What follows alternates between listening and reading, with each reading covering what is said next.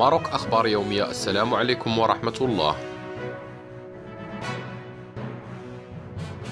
انتشر عبر صفحات مواقع التواصل الاجتماعي منشور يدمي القلب وهذا ما جاء فيه. قمة الخبث والقذارة. هاد البنت تزوجت وخرجت من دارهم فرحانة ومن بعد شهر راسونا ونسابها على والديها وقالوا لهم بنتكم ما عرفنا مالها مرضات. وجابوها حطوها لهم مشلولة ومشاو سدوا التليفون وبالعربية بلوكا والديها وهي ما تقدر لا تهضر لا تحرك ولا تقول اش وقع ليها. مسكينة الهضرة ما كتخرجهاش.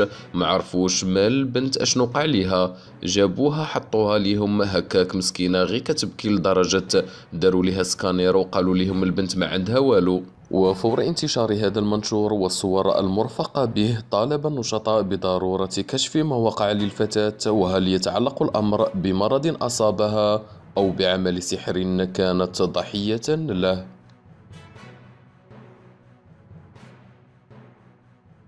نشكركم على حسن المتابعة. قناة ماروك أخبار يومي.